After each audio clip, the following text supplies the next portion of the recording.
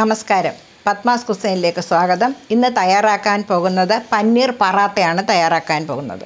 അപ്പോൾ അതിന് വേണ്ടുന്ന ചേരുവകൾ എന്തെല്ലാം എന്ന് വെച്ചാൽ ഇരുന്നൂറ് ഗ്രാം പന്നീർ നന്നായിട്ട് നമ്മൾ മിക്സിയിൽ പൊടിച്ചെടുത്തതാണ്.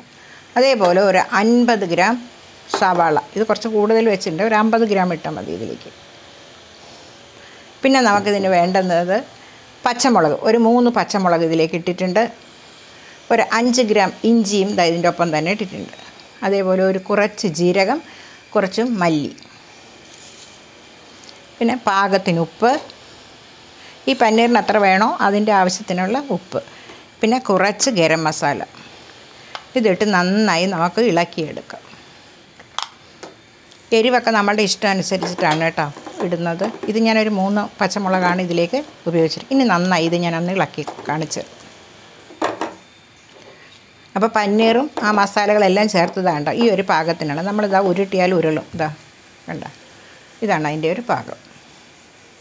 പിന്നെ നമ്മൾ സാധാരണ ചപ്പാത്തിക്ക് മാവ് എപ്പോഴും കുഴയ്ക്കാറുള്ളതല്ലേ അത് പ്രത്യേകിച്ച് പറഞ്ഞില്ല എന്നേ ഉള്ളൂ. അപ്പം നമ്മൾ ആ ചപ്പാത്തിക്ക് വേണ്ടിയിട്ട് ഒരു ഇരുന്നൂറ്റി അമ്പത് ഗ്രാം ഗോതമ്പ് പൊടി എടുത്ത് കുഴച്ച് വെച്ചിരിക്കുന്നതാണ്.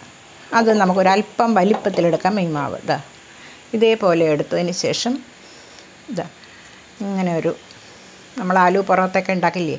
അതേപോലെ തന്നെ എടുത്ത് മധ്യഭാഗത്ത് ഇതാ ഇങ്ങനെ വെച്ചതിന് ശേഷം ഇതാ ഇങ്ങനെ പൊതിയാം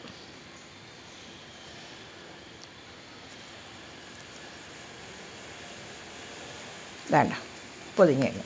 ഇനി നമുക്ക് ചപ്പാത്തി കല്ലിലിട്ടിട്ട് ചപ്പാത്തി പരത്തിയെടുക്കാം ഇനി. അപ്പോൾ കല്ല് ചൂടായി കഴിഞ്ഞാൽ നമുക്ക് അല്പം നെയ്യ് ഒഴിച്ച് കൊടുക്കാം.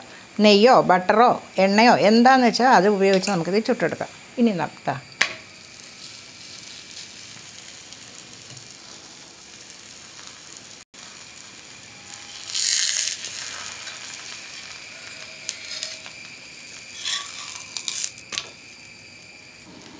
എളുപ്പം ഉണ്ടാക്കാൻ പറ്റിയതാണ്. കുട്ടികൾക്കൊക്കെ വളരെ ഇഷ്ടത്തോടു കൂടി കഴിക്കാൻ പറ്റിയതും കൂടിയാണ് കേട്ടോ.